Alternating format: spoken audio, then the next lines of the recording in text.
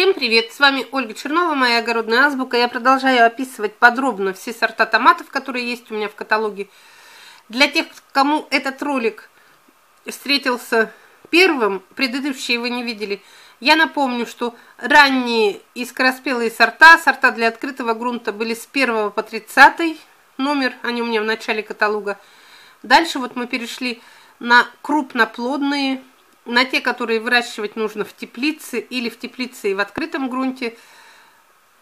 Я читаю то, что пишет производитель, вот эти вот описания на пачке, и добавляю от себя свое мнение, потому что все эти сорта я уже выращивала, я их изучила, знаю как свои пять пальцев. Вот номер 60 медовый мы в предыдущем ролике рассмотрели.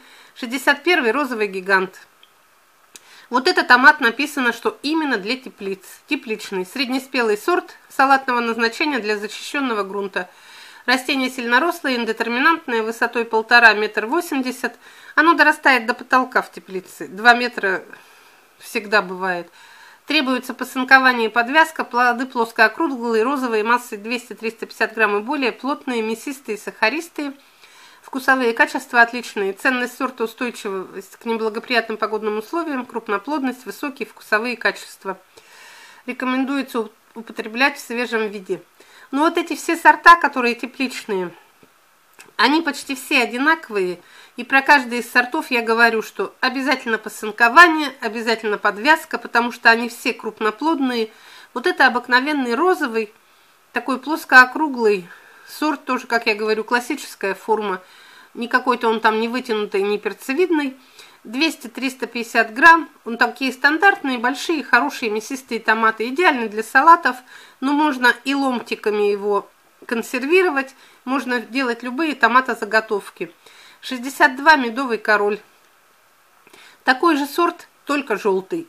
Среднеспелый любительский сорт для выращивания в открытом грунте и в теплицах – Растение индетерминантное, требует подвязки посынкования, плоды оранжево-желтой окраски, плоскоокруглые, крупные, массой 300-450 граммов, мясистые и сочные, обладает незабываемым вкусом и ароматом, великолепно в свежем виде.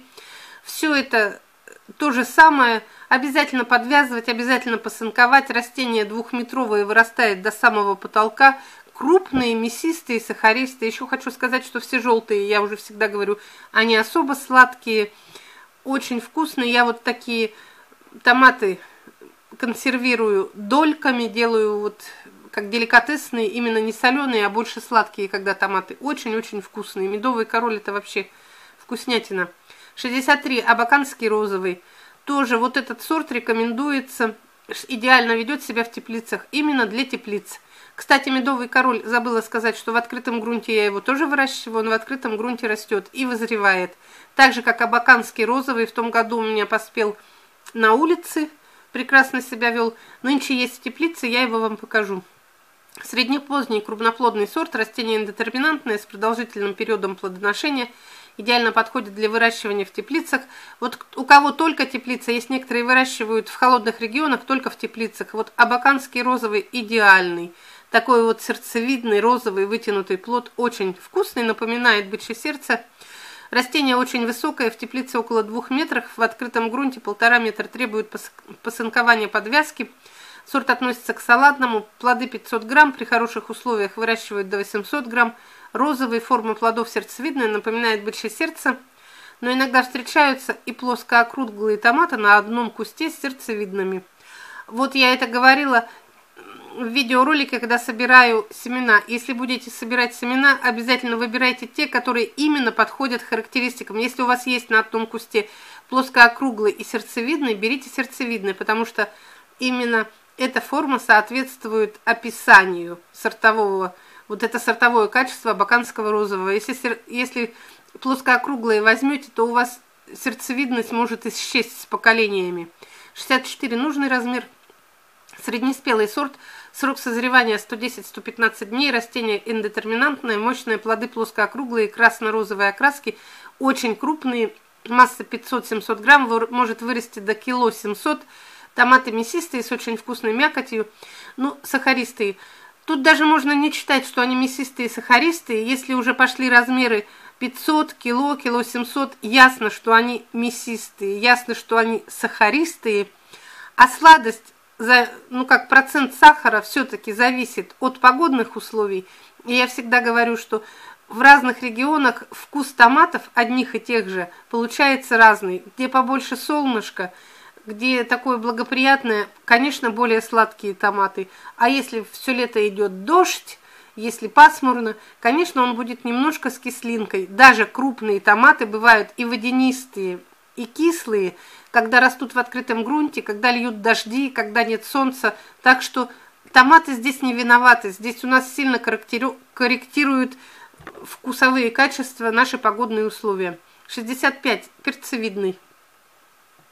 Чрезвычайно урожайный среднеспелый сорт, растение высотой 2 метра. Первая кисть формируется на девятом листом, последующие через три листа в кисти 5-7 плодов перцевидной формы, красного цвета, масса 90-150. С одного растения при правильном уходе можно получить до 30 плодов с растения. Вкусовые качества отличные. Используется для употребления в свежем виде, соления и консервации. Конечно, вот перцевидный этот сорт, он уже как помельче идет, но его прекрасно в баночках, очень красивый, очень декоративный. Вот эти вот, как большие такие пальчики томатов висят, но высокий 2 метра. И даже, несмотря на то, что у него вот плод небольшой, мелкий, можно так сказать, обязательно его тоже надо подвязывать, посынковать, потому что он очень большой, 2 метра. Ясно, что без подвязки он завалится, упадет все это. 66, госпожа, удача. Вот дошли до того сорта, который в этом году у меня поспел в первую очередь. Прекрасный среднеранний сорт для открытого грунта пленочных теплиц. Куст высотой 80-100 см. Плоды округлой формы, великолепного розового цвета, мясистые, сахаристые, весом до 600 грамм. Бесспорным достоинством сорта является его крупноплодность в сочетании с довольно ранним сроком созревания и детерминантом типом куста. Холодостойкость и отличное качество плодов – неприхотливость, нетребовательность к уходу, урожайность 5 кг с куста.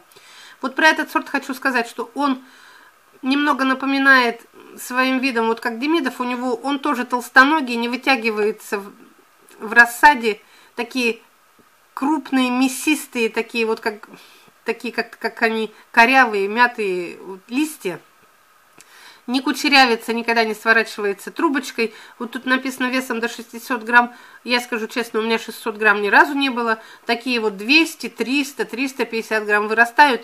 Но у меня я не общипываю лишние завязи. Если, например, в одной кисти там их 6 или 7, я их оставляю все. Они у меня растут, сколько вырастет, столько вырастет. Если хотите, захотите получить более крупный плод, вот такой, я всегда говорила, то нужно нормировать нагрузку урожаем на куст, и в каждой кисти, если хотите 600, 500 граммовые, нужно не больше трех оставлять. 2-3 от силы 4. Ясно, что 6 или 7 плодов по 600 грамм в одной кисточке не будут.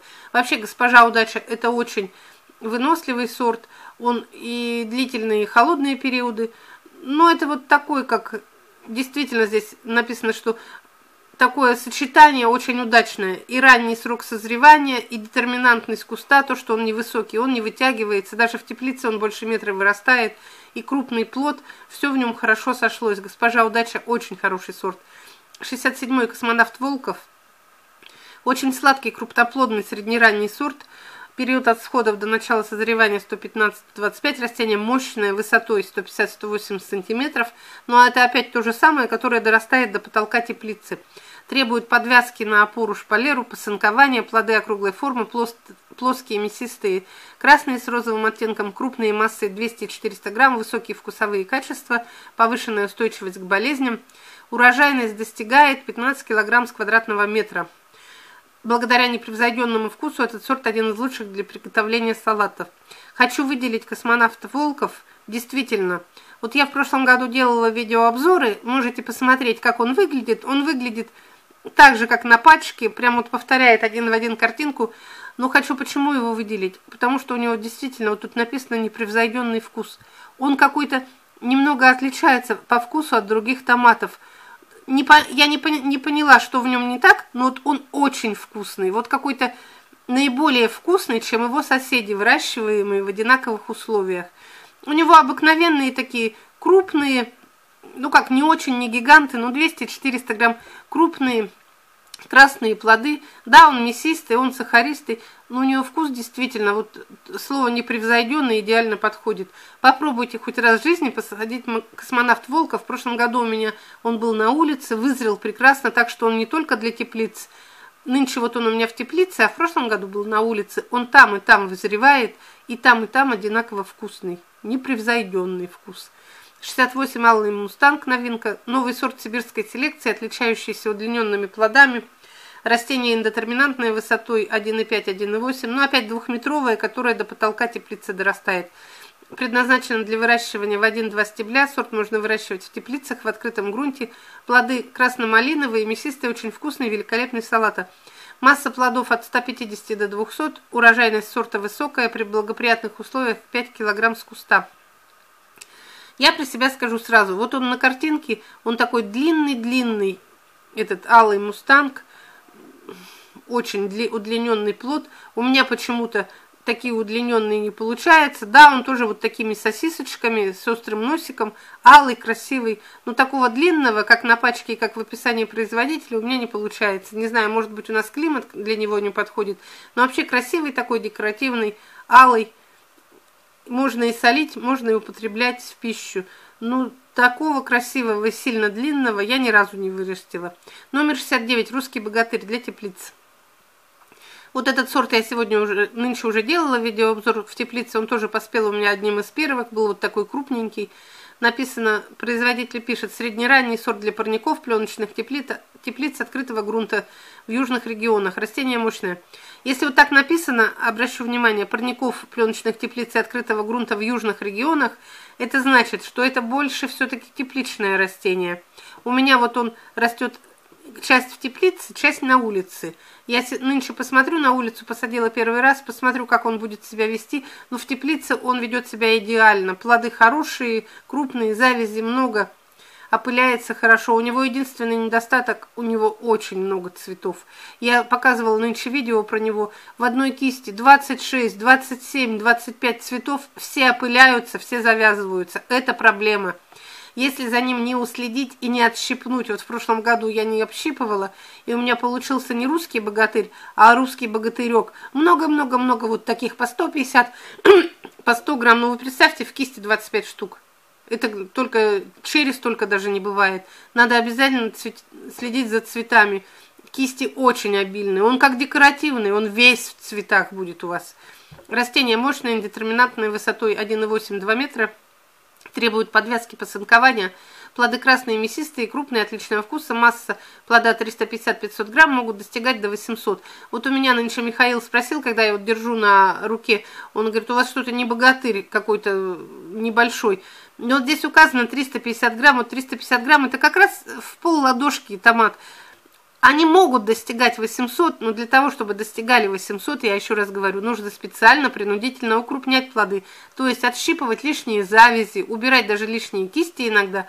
Я этого не делаю, поэтому у меня богатыри по 350 грамм, а не по 800. Я не гонюсь за крупными плодами, потому что я не вижу смысла. Какая разница, один крупный или два средних? И это лишнее время ходить считать цветы. Мне некогда, Поэтому у меня богатыри среднего размера. Ценность сорта, крупноплодность, транспортабельность, товарность идеальны для рыночных продаж. Назначение салатное. Ну пишется назначение салатное, я еще раз напомню. Но можно и консервировать дольками, и делать томатопродукты. Если производитель пишет назначение салатное, это значит просто, что он мясистый и вкусный, ну а на все остальное, естественно, он тоже подходит. Сейчас последнее очарование – опишу. У меня вот даже просила женщина одна именно про очарование рассказать.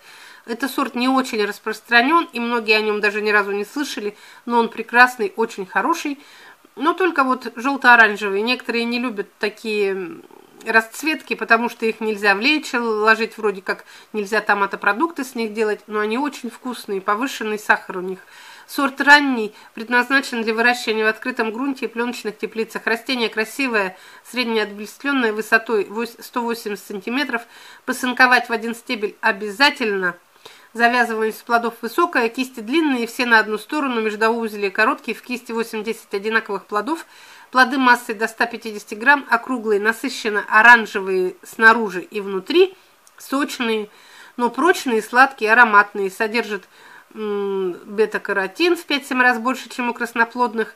При соблюдении агротехники урожайность куста 4 кг, схема посадки 40 на 60, устойчив к болезням некоторым, предназначен для употребления в свежем виде, переработки на томатопродукты, для детского диетического питания, приготовления соков сладкой томат-пасты, пригоден для засолки и консервирования. Созревание растянутое. Он у меня на улице растет. Я вам Потом покажу очень красивый сорт, прекрасный для засолки, для употребления в свежем виде, хоть куда. Все, до свидания. На этом, на 70 номере мы заканчиваем. Время уже много. Следующий будет дальше, в следующем